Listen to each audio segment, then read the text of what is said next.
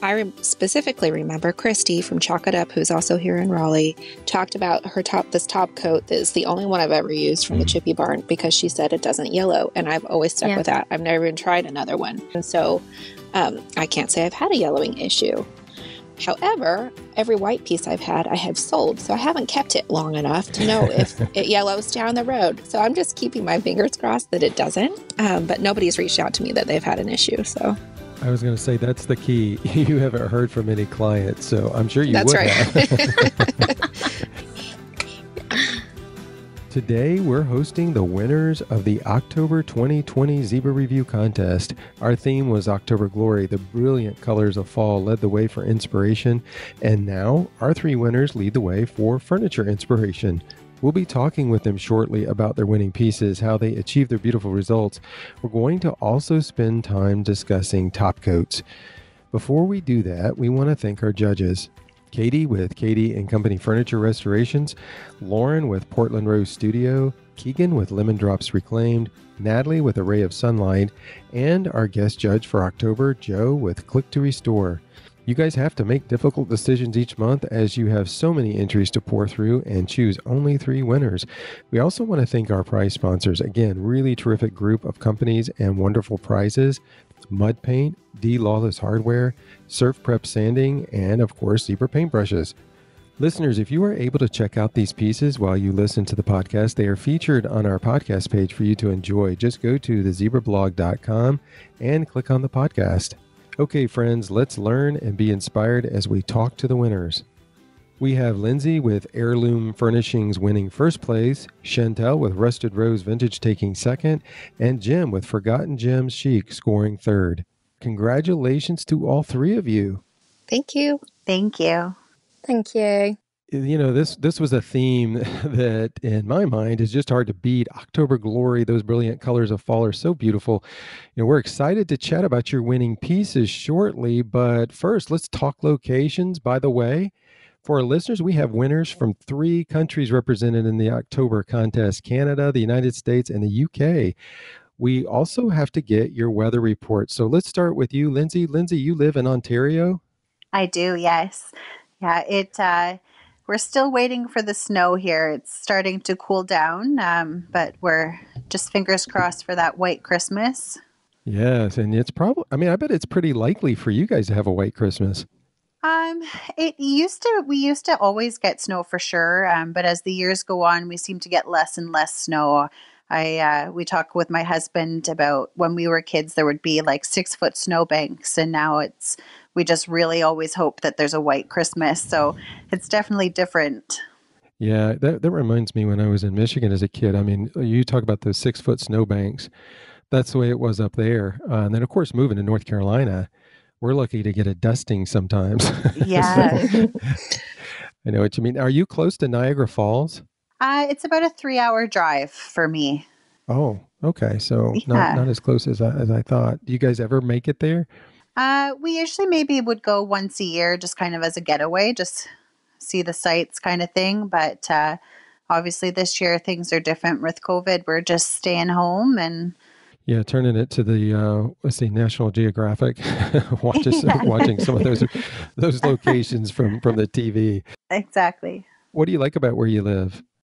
Um, we live in the country, and I mean, uh, you can't really beat that, in my opinion. We uh, we just recently bought some acreage and built a new house, and uh, have settled down, and yeah, so just the quiet lifestyle of where we live, I guess, the small town. Yeah. And That is nice. It's nice to be in a small town and then to be able to have access to the bigger towns. You know, we don't have to drive too far. So Yeah, for uh, that's very good. What's your weather like today? uh, the sun is shining. It's pretty. All right. It's pretty crisp out, but no complaints. It's nice to see Yeah. the sun. I know, I know. We had sort of a, a gray day yesterday, but uh, the sun is shining beautifully today. In fact, I don't think there's a cloud in the sky. So, well, very nice. Well, Chantel, we're neighbors. You We live in the great state of North Carolina. How we cool do. so, so, so, where at in North Carolina are you? I live out in the country south of Fuquay Varina, which is on the very south end of the greater Raleigh area. Okay. Now, are you so we got Raleigh, and then I think south is Fayetteville. Are you South like? is I'm in between the two. Yep. Oh, okay. Well, Yeah. very good. So, what's your drive to the coast? What's your It drive takes time? about two hours. Oh man. Well, that that's you know what, you know, Lindsay can drive to the falls, and you can drive to the coast about the same time, close to it anyway. That's right. yes. now, Chantel, you don't have a southern accent, so you cannot be from North Carolina. I'm not. I grew up in Idaho. I grew up. This is our third winter in uh, North Carolina. Oh, is it? So, what do you think about the winters in North Carolina? Uh, I'm still getting used to it. You know, around Christmas time, I'm always hoping for snow. It hasn't Yeah. happened yet. I'm really not expecting it to this year. But after Christmas is over, I'm happy that it's sunny. And, you know, sometimes in February, I think the last two Februarys, it's been 70 at some point. So, Yeah. you know, I'm okay with that. Yeah, that's uh, that. It really is one of the cool things about North Carolina and this region, is that you do get some cold weather. I mean, it gets down into the low teens, you know, occasionally, but then you get those highs, sixties and seventies periodically. So you get some good variety. I think I remember. Speaking of a white Christmas, I think I remember about ten years ago. Maybe that's that's just a rough estimation. That it snowed on Christmas and it was Oh, beautiful. Everybody Hmm. loved it. And then I think it was two years ago we got a snow early on in December, and it was a lot of snow, and it was so much snow that everybody was like done with it. Okay, we got our snow. Now let's just go back to regular North Carolina winters. Oh gosh. I must have missed that one. I wasn't I don't think I was here for that yet, but I wouldn't be opposed to it. it might have been two or three years ago, before your time here in North Carolina. Yes, yes. so you probably got sunny uh, weather today as well. Yeah, I was just looking outside and you're right, there's not a cloud in the sky today. Yeah. Well, you Yeah. enjoy. I will. Jim, you are from the UK. And by the way, listeners, we had Jim on earlier this year in season two, episode three. She was a Zibra Golden Brush Award category winner. And just as a little side note, uh, listen to the end of the podcast because we have information about the Zibra Golden Brush Awards. They're coming up again soon. So we'll give some details on that. We are excited to find out a little bit of details. I mean, who doesn't love the UK, Jim? I mean, it's all these pictures that we see are stunning. So, are you living in the middle of a stunning countryside? Um, well, I wouldn't go that far. I I am Oh, kind of in the middle of the country. It's it's quite semi-rural, so I'm a little bit out of it, but it's only half an hour to get back into the hustle and bustle of everything. Um, it it rains 90% of the time. So, really? yeah, I'd much rather be where you are than here, but yeah, it's it's it's okay, I guess. Well, that's good. I can share that with my daughter um, because she is a royal watcher and she loves the countryside. And she's like, oh, I wish we could live in the UK. So I'm going to tell her, okay, that's okay, but that's 90% of the time it's going to be raining. Yeah, it rains. But uh, but actually, the I'm a part of something called the National Trust, where they do have beautiful, um, you know, architecture and beautiful Uh-huh. old buildings, and they have huge surroundings.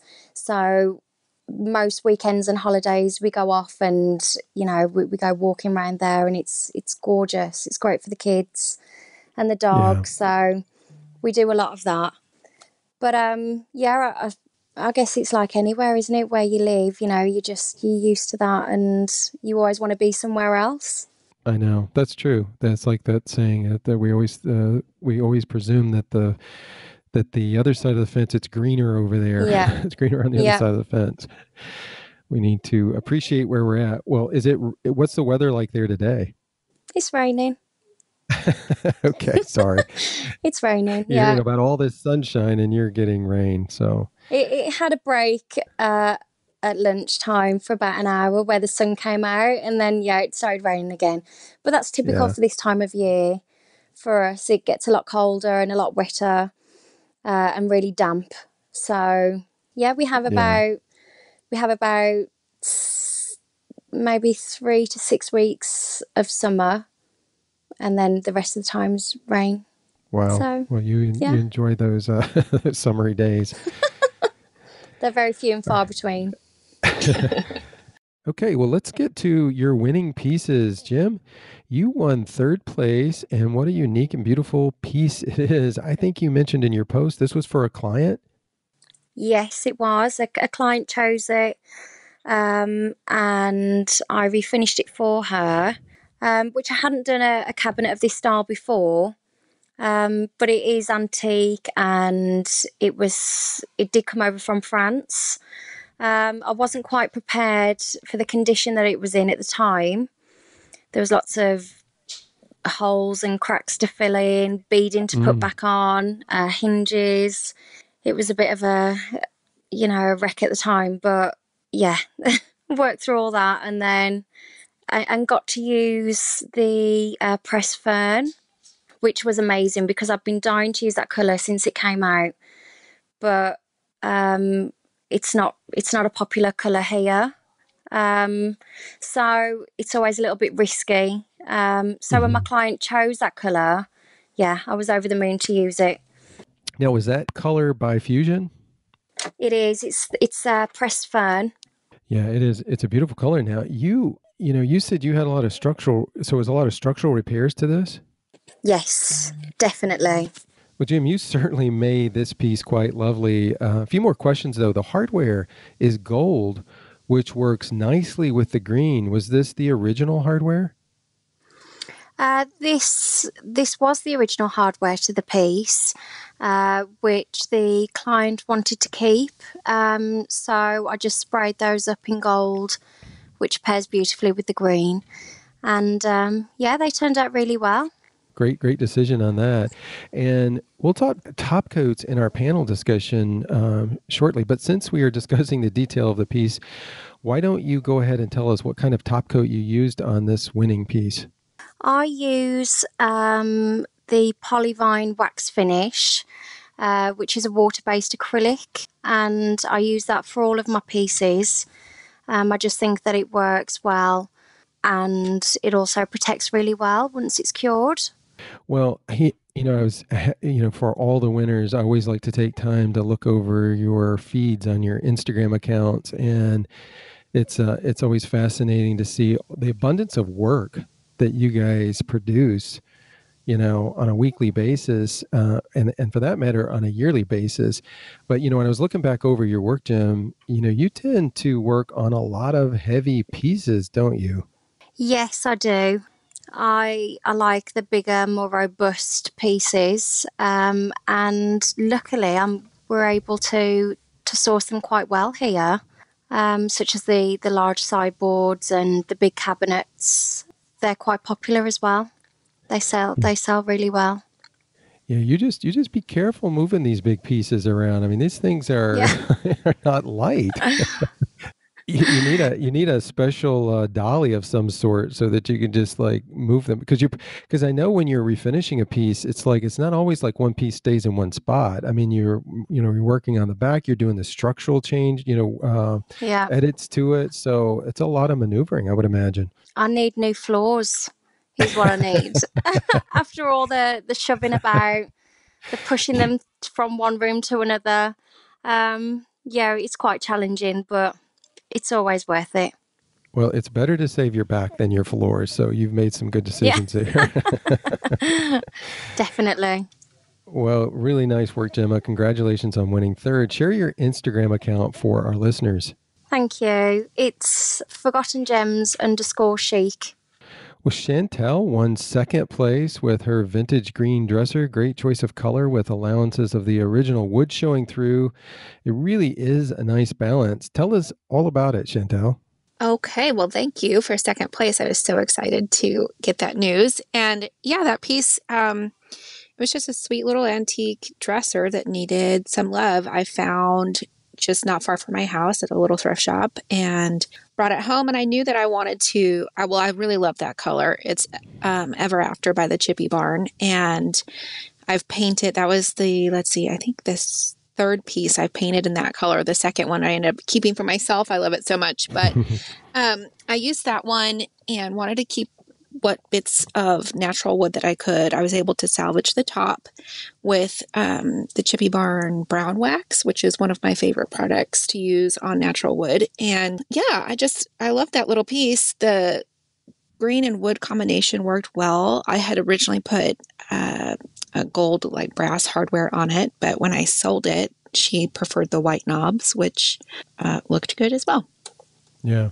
So when you're messing with the process of choosing hardware, how difficult is that? That's my biggest struggle because yes, because it can really change the look of a piece in its entirety. I mean, just I think I did a side by side of that piece with the gold hardware I had chosen and the white hardware that the my customer had chosen, mm-hmm. and it just changes the whole look. And so I struggle with that back and forth. And even in other pieces, if it's not selling, uh, I will change the hardware on it and repost it. And sometimes that's the the trick that that gets the sale. Well, the nice thing about that struggle is it doesn't require you to do a whole lot of reworking. exactly. Yes. yes. Exactly. Now, when I when I look at this piece, um, and I always find this fascinating, you know, because you, you, guys are always making design decisions, you know, anytime you refinish a piece, and so you've got decisions, obviously about the color, you've got decisions about the hardware, of course, that we just discussed, but just as you mentioned earlier, you were able to leave the top uh, wood exposed. I mean, you put the dark wax on it, but then the legs are exposed wood, and then that piece in the center bottom is also mm-hmm. exposed how do you what what's that process like for you when you're choosing what to paint and what not to paint? Any any special tricks or like is it just all visually in your head and you just go straight to it? It's visually in my head but it's also just about the artistry of the piece in itself which is why i like to do vintage or antique furniture because the craftsmanship that went into that originally. And so every time i pick up a piece i always think about what can i salvage of the original piece? And what can i do to enhance that or does it need completely, you know, refinished? And mm-hmm. in most cases, it doesn't. In most cases, there's pieces you can highlight. And in that one, that little piece at the bottom, um, I think really tied in keeping the top natural and the legs. And so it's kind of a visual thing. Um, what will look best and what can I actually save? And so that was my thought with that particular piece.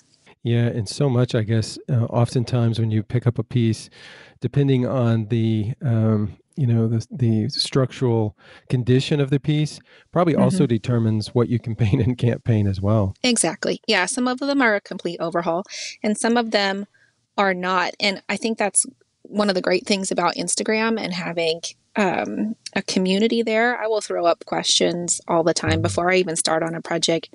Most of the time i'll know what i want to do but sometimes i just sit with it for a few days and then i'll reach out and say you know what color do you like? Do you or should i try to leave it natural? And sometimes i've i've left the whole piece natural when i'd mm-hmm. originally planned to paint it so. Yeah. It's it's fun to to throw that around with uh, our group of followers yeah that's one of the nice things too about you know redoing a piece that's that you purchased that you're going to sell because i know custom pieces you obviously have a little bit less latitude of course depending on the client right. that you have right what top coat did you use on this I just use the Chippy Barn wax, which is I prefer to use wax over uh, a poly or anything, but I mm-hmm. just have more control with that, and I like the finish. But I used a just a wax finish on the the paint, and then again the brown wax on the um, top and legs. Okay, so the brown wax was just on the top, and well, where the where the wood is, where the wood is exposed. Yep. Yeah, gotcha. Well, that's just a really good job, and just like we were talking with Jim about her style obviously looking over your feet as well, and it, you've you've got a lot of variety. And uh, I've noticed as of late you've done some MCM stuff. So, what? How would you classify your style? Gosh, I don't, I don't know. I have recently found a love for mid-century modern furniture, and so in that i try to keep those lines really clean and the paint really clean and i think that's coming across in other antique or vintage pieces in a different style. I just like that sort of clean look. Where when I had originally started last year in 2019, I, I, preferred more of a chippy finish or distressed look, and I don't really do that often anymore. It's really transferred to a cleaner look, and I think that's partly in working with so much mid-century modern furniture. Man, I wonder what a an MCM piece would look like with chippy paint. I mean, usually... I don't know. I really don't know, but I've never seen one. Yeah, I've never seen one where I've thought I want to distress that. Like it just doesn't ever pop in my mind, but maybe someone has. Yeah, I guess it's almost kind of like going against the grain on that. Have you seen that, yeah. Jim, or have you also just seen? No, actually, I, I haven't seen that at all. But I know that the chippy look isn't very popular here, or it's not. I don't know if it's not particularly popular or just people don't really do it. Mm-hmm. Um, but I haven't seen much of the chippy stuff here at all. Although I do love to look at it on uh, on Instagram. Mm-hmm. I do love the look of it. It looks great. Wow. Well, I was trying to like really provoke a new style in the furniture refinishing industry. You know, maybe call it the lane look. You know, like the chippy chippy on the on the MCMs. the lane look. That sounds great. I'm sure everybody listening is thinking, oh, just go on, just move on. They're probably thinking, I know, just MCMs. You don't put the chippy look on the MCM. No, so no, you'd get a lot of. Are you going to finish that or exactly? Yeah, yeah. Well, Chantel, an, uh, another great job for you. Congratulations on winning second. And if you would Thank share you so your Instagram account as well for listeners. Sure, it's at Rusted Rose Vintage Shop. Very good. Our first place winner is Lindsay with Heirloom Furnishings. You just heard from Lindsay in our intro when we were talking about her living in Ontario. Unfortunately, as we were recording, we had some technical difficulties with her audio and we are not able to feature her sharing about her winning piece. We really hate that as we want to hear from all of our winners. We're thankful that in two seasons and almost 100 episodes, that is a rarity to have these kind of technical difficulties. However, I will do my best to highlight her winning piece. Lindsay's winning piece is an antique dresser and mirror. She chose the color with a twist by Country Chic Paint. They describe this color as a warm cognac color. It's definitely an autumn color, very beautiful. Lindsay topped it off with her teardrop pendant drop pulls. It turned out really lovely, Lindsay. Congratulations on winning first place. You can learn more about Lindsay's work by following her Instagram account at heirloom underscore furnishings. This podcast is sponsored by Zibra, makers of the high quality yet affordable line of paintbrushes. We set out this season to create unique paintbrush kits that provided all the brushes you need for different types of applications. We have our furniture paintbrush kit, detail kit, room makeover kit, crafting kit, and our best of Zibra paintbrush kit that features five of our most popular brushes. All kits come in a canvas bag with a cute saying printed on them. If you haven't had a chance to check them out, take a few minutes and go to enjoyzibra.com to see the selections. Well, it's time for our Zibra panel discussion. Today's topic among our Zibra review winners is everything top coats. Maybe we say the do's and don'ts of top coats. We'll see where our conversation leads.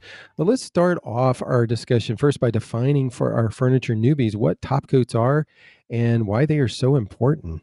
Sure. Um, top coat is something you would use on a piece, either a wax or a poly type of finish, to seal the paint. And it really helps with durability. It helps against scratches and, you know, all those things can, that can happen to a piece. Um, I, I use a top coat on every single piece that I've finished. So no piece is to leave the uh, the furniture refinisher's studio to the customer's home without top coat, right? I mean, I prefer it. I think there are some uh, paints that say that there's a top coat, you know, included in the paint, and that can be true. But for um, for my pieces, I always do a top coat. Yeah, I totally agree with that. I personally wouldn't send a piece out to a customer without it being top coated first. Uh, just you know, to make sure that during the transportation and you know for the the duration that it holds up and it lasts. Um, and also i think that a top coat really finishes the look of a piece off. I know that you know when you've put the last coat of paint on it can be quite a flat matte finish. And then even with a, a matte top coat it can really just give it just a small sheen and it just really looks finished yeah, I agree with that. Do you, when you are putting down a top coat, and um, Jim, you mentioned that you use a poly when you put your top coat down. Is there is there any rules about how many um, coats of top coats you put down?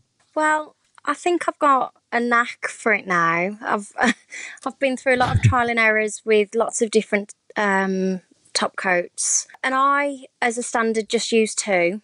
But if it's a high traffic area like a table or a cabinet, a TV cabinet or something like that, I will put an extra one on, even though the paint that I use has a top coat in it as well. It's just to make sure that it's extra durable. And also, when I've done vanities for bathrooms and things like that, I have used um, a lacquered top coat, which is waterproof, and it apparently it's just the the strongest that's available, and apparently it holds up well.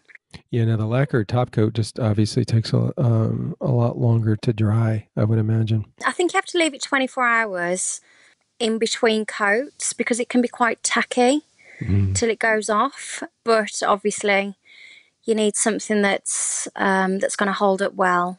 You know, if you're going to be using it in the bathroom and with a basin on top, especially. That's one place you would definitely not want to use a wax. you would use a wax top coat on on things that well, I have used it on my own dresser, but I know for some people that are harder on their furniture, using a poly type top coat may be better for that. Um, whereas wax may be better for something that's not highly trafficked or I mean, I don't know. I've used it on quite a few dressers. It really depends on how you use your furniture, and I will ask that for a customer, if I, especially if I'm doing a, a custom piece what they're going to be, how often they're going to be using it, and how they are with their furniture, and that will help me determine yeah. what type of top coat I'll use. But wax, once it's cured and hardened, it does really hold up well. It does. Yep. I, I've yeah, um, I did a couple of pieces for myself, which I I used wax on top, and mm-hmm. it is really strong once it goes off. Mm-hmm. Uh, I was quite surprised. I think that you know as long as your customers aren't using chemicals to clean them with and you know scrubbing them when cleaning right i think they do hold up well yep i agree now do do waxes ever require adding a new layer of wax like six months year down the road is there any kind of maintenance with wax versus you know the other top coats um, i think you can do that i have heard of that and it probably just depends on the the age of the piece or how often it's used, how often it's cleaned. But uh, for example, the dresser that I have in, in my home that's been waxed, I have not had to reapply it, and I've had it for quite some time. Again, I think it just is probably situational. Mm-hmm. Yeah. What things do you need to consider uh, when using different types of paints? Now, are there any, you know, because there's so many out there, and I know there's the main categories like the chalk paint, the milk paint, the acrylic paint, uh, you know, ceramic base paint, mineral. So, it, you, are, are there any rules when it comes to top coats and and what kind of top coat you use for the type of paint you're you're using? Um, I don't know that there's any hard and fast rules. I did learn a lesson about using uh, black paint. It was a ceramic base paint, and I used a poly finish on on that piece, and it was an actual nightmare. I repainted it once, but I must have t- sanded off and reapplied the poly five times before I got it right. And the trick to that particular piece with black paint was how it was applied. And I found um, through Instagram, actually, someone had told me about a microfiber sponge to apply the poly with.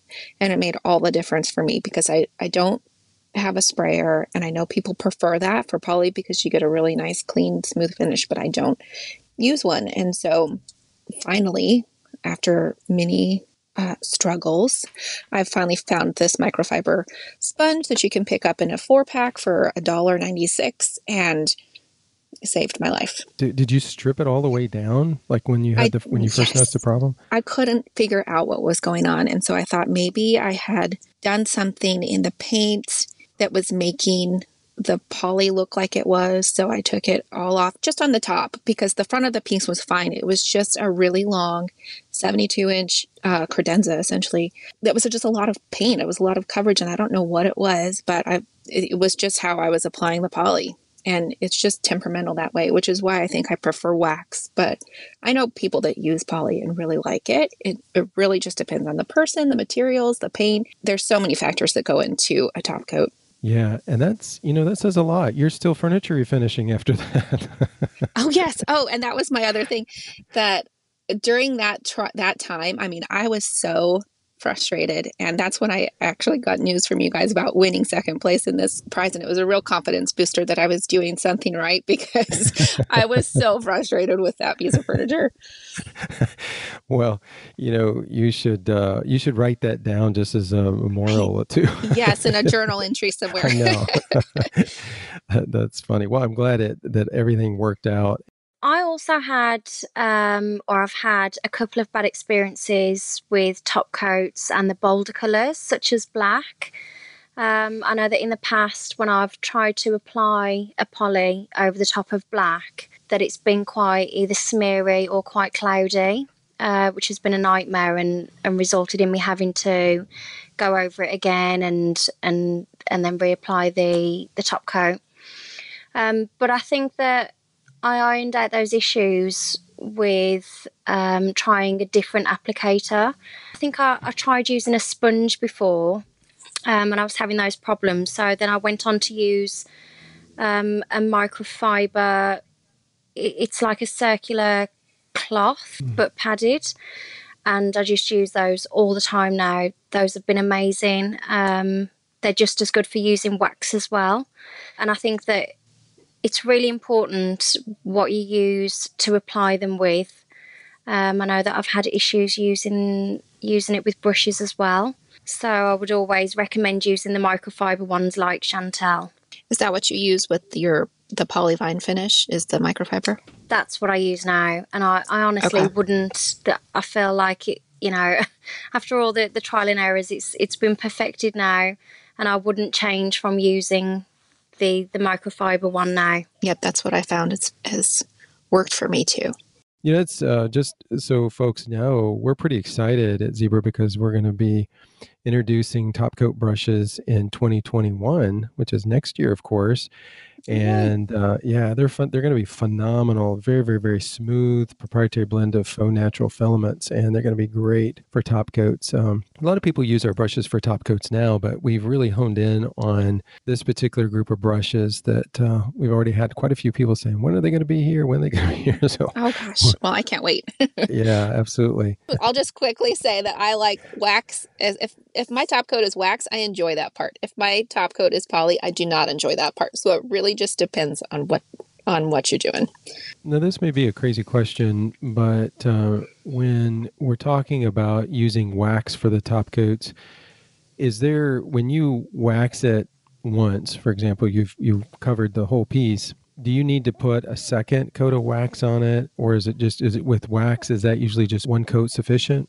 For me, one coat has been sufficient. I usually apply it with a brush, but I'll also just apply it with um, just an old t-shirt. And now that Jem has mentioned the microfiber for wax, I may try that as well. But because um, I usually just put it on and then wipe it off mm-hmm. in a sense, and so usually one has been sufficient. I think it depends on the piece and how you know if it's just a sideboard that you know isn't isn't going to have a lot of traffic. I think one is great, but I think for you know other pieces like maybe coffee tables or side tables or things like that, maybe two would would mm-hmm. be recommended just just to hold up. And with respect to the lighter furniture pieces like white or neutral colors, I know that I've, there's been a lot of discussion uh, that I've had with refinishers uh, off and on about the fact that sometimes there's a bit of a nervous, you know, vibe going on when it, you know, because there's the fear of putting down a poly top coat on a neutral piece and then it turning yellow over time. Yeah, but that, I've definitely had that in the past, and um, I don't know if if it was the type of poly that I was using. Um, I certainly. Uh, because it's so much hard work to have to go back and then lightly sand again and clean and then put another coat on. So I certainly moved on and tried a different poly, which is the one that I'm using now. But there are some brands who do advertise that there's a non yellowing uh, with their formula. Mm-hmm. So, yeah, maybe that's one to look out for when you're using the neutrals. Mm-hmm. And that's where I think you can, where social media is great if you're following yeah. other refinishers, trusting what they say and products that they've yeah. used, because I re- specifically remember Christy from Chalk It Up, who's also here in Raleigh, talked about her top this top coat that is the only one I've ever used from the Chippy Barn because she said it doesn't yellow, and I've always stuck yeah. with that. I've never even tried another one on a white piece or a light colored piece, and so um, I can't say I've had a yellowing issue. However, every white piece I've had, I have sold. So I haven't kept it long enough to know if it yellows down the road. So I'm just keeping my fingers crossed that it doesn't. Um, but nobody's reached out to me that they've had an issue. So. Yeah. I was going to say that's the key. You haven't heard from any clients, so I'm sure that's you right. would have. Well, Jen, you brought up a really good point because there are a lot of really good paint manufacturers with different types of paints, and many of them sell top coats. So just check with them eh, or on their websites just to make sure that they don't yellow because uh, I know that's a big deal. I don't know. You guys can correct me if I'm wrong, but you know, over the years, the last few years, we've been doing this podcast and talking to refinishers. I, you know, sometimes I'll say, what's the least favorite part of refinishing? And usually it's the prepping, but I'm getting this sense it's sort of bookend that the prepping and the top coating is not always a heck of a lot of fun. is that true? Have you ever found that the wax is quite, has, you know, quite patchy where where it's stuck to certain areas better than others and, and then you have to go over it a second time with the wax just to get that kind of even coverage. I haven't with the wax that I've used, and I know I'm just going to sound like a Chippy Barn cheerleader over here, um, but I found products that I like, and just like you have, I think with the Polyvine, but I haven't had any issues with that wax, and I found it early on when I started refinishing furniture, and I've just stuck with it because it's worked so well. Yeah, it's definitely worth sticking to when you find a product that works as it should. Mm-hmm. Um, mm-hmm. But I, I know that when I've used wax in the past, and you know almost always with chalk paint that is the case where it it probably mm. clings to an area better than it does you know another area and then you have to go over it again and and sometimes the result is just a bit patchy. Yeah this is why i, I like to stick with a polyvine because it is hard work. Once you've refinished a piece and then you know the the last stage of putting the top coat on you really don't want to get that wrong. Exactly. Yeah once you find a product that you know that works, it's always best to stick to that. Yeah. well, I um, I'll be transparent with our listeners. Uh, know from you know it's it's been unfortunate uh, with this particular podcast because we had a technical uh, challenge in a couple different areas, but one was we weren't able to hear all of Lindsay. Um, she was, of course, on the front end of the podcast, but uh, we weren't able to to keep her on the second half because of some challenges, technical challenges that we had. But we were joking about this particular podcast because it's on top coats and uh, it was somewhat consistent. Top coats are difficult; they're challenging. Well, it made this podcast a bit challenging and difficult as well. it's been so, exactly takes. so, it was doomed from the get go. so, so for you listeners, we hope you really enjoyed top coats because we're never talking about top coats again on the podcast no, we, we may take another go around with it uh, to discuss and it. Everyone further. will have a different story, their own horror right. story. I'm certain. yeah.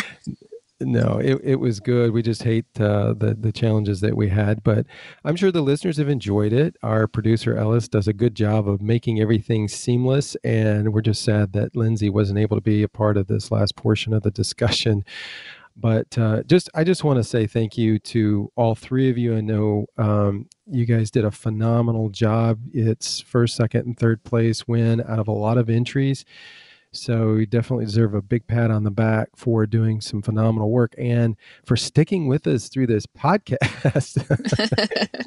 Again, thank you so much. And uh, listen, enjoy the rest of your day. Not only our two guests here, but also listeners. So thank, thanks again for for both of you for hanging with us, and thanks for your time. Thanks so much. Thank you. Stay safe, stay well, and enjoy the holidays. Thank you so much. It's been lovely talking to, to all of you. Likewise. Although we are already in the month of December, we are continuing to enjoy the work of our November featured artist, Jeannie Pope with Blush Vintage. We always love hearing from a few friends of our featured artist, and today we hear from three of Jeannie's friends. We hope it's a surprise feature for you, Jeannie. Enjoy. Hi, this is Courtney from Steel Birch Studios, and I am calling to congratulate Jeannie on being Zibra's Artist of the Month um, this time around. And man, she is a talented artist. All of her work is just gorgeous. It's simple, clean, bright, colorful, um, and unique, you know, and she has an eye for photography and staging. And not only that, she is so funny and just a joy to work with and um, she's super encouraging and she brings a lot of spirit into anything she does and it's an honor to know her and i'm very proud of her and happy for her. So jeannie we love you. Sarah with olive and fern wanted to leave a message as well for jeannie. I have the pleasure of reading for you. Here is sarah's message. Jeannie is one of those people I just clicked with immediately. She makes you feel instantly comfortable and like you've known her forever. She always has me dying laughing and has always been so helpful to bounce ideas off of when it comes to design. She's a visionary when it comes to furniture and interior design. Her distinct style is immediately recognizable and is always a scroll stopper. I'm proud to call her a friend and have her as a fellow judge in the Zibra Collective. This feature is so well deserved. Congratulations, Jeannie. Hi, this is Emily of 1379 Design calling in to congratulate Jeannie of Blush Vintage on being Zibra's November featured artist. Jeannie's work caught my eye a few years ago, and since then we formed an amazing friendship based on our love of vintage, funky and beautiful interiors, and our hilarious conversation, speaking, and only gifts. So, Jeannie, I'm your number one fan, and I cannot wait to see what beautiful pieces you dream up next. Congrats again. Several of you have been inquiring about our year end contest that we started last year, the Zibra Golden Brush Awards. This year, we decided to move it out a month so that you would have the opportunity to pull any pieces you have refinished from January 1st through December 31st, 2020. In January, you will be able to peruse through all of the 10 categories and enter pieces that you believe are your best and that meet the required parameters of each of the category listings. We are working with our judges to get the contest ready. We are more than excited to see all of the beautiful pieces created in 2020. We know it's been a rather difficult year for most, but we are determined to showcase the best of the best in your work. Stay tuned as we share more details in the coming days about the 2020 Zibra Golden Brush Awards. The Zibra Review monthly contest has been announced for December, and the theme is candy canes. That's right. You know, those sweet little red and white candies that make their way from Christmas season to Christmas season to Christmas season. You know, they really are more about hanging on the tree than eating them. Have you guys ever had a few make it from season to season and all the Christmas decorations stored up in the attic? Somehow you think it's a fresh candy cane, you bite into it to find out it's petrified, although it still keeps the peppermint flavor. Okay, okay, enough of that. Well, we thought they are popular enough at Christmas and offer some cool red and white inspiration for our December contest. Any variations of reds, and or tones of whites can be used on your furniture pieces to enter. Use the hashtag the zibra review and you'll have your piece before a judging panel as they will choose three winners. The judging panel also includes guest judge Lindsay with Heirloom Furnishings. She was our first place winner for October. Great prizes await the winners from Milk Paint by Fusion, D Lawless Hardware, Surf Prep Sanding, and Zibra Paintbrushes. All pieces refinished from January 1st, 2020 to December 31st, 2020 are eligible for entry. We are so grateful for each of you, not only for listening to this podcast, of course, but also for using our paintbrushes. We love it when you tag us in your stories and posts showing what applications you're using zibra brushes on. And that is not just furniture refinishing, but also painting your homes. We will always make it our priority to highlight your furniture refinishing works of art on our Zibra Painting Instagram account and Facebook page, but we also want to make sure we highlight notable home projects as well. If you have used your Zibra paintbrush on a home project and you want us to check it out, make sure you tag your pieces with Zibra Inspo. That's hashtag Zibra Inspo, Z I B R A I N S P O. We would love for many more people to discover the Zibra Before and After podcast. Please subscribe and leave us a review on your favorite podcast directory. It really does make a huge difference in the rankings. And thank you for listening. We hope you enjoyed this episode of the Zibra Blogs Before and After Furniture Refinishing podcast. Today's episode is also featured on the zibrablog.com along with contact information for today's guest. Your comments and suggestions for future episodes are always welcome, and we encourage you to share those by clicking on the podcast slide in our header at thezibrablog.com. That's zibra with an i blog.com. Thanks for listening. Stay safe and happy refinishing.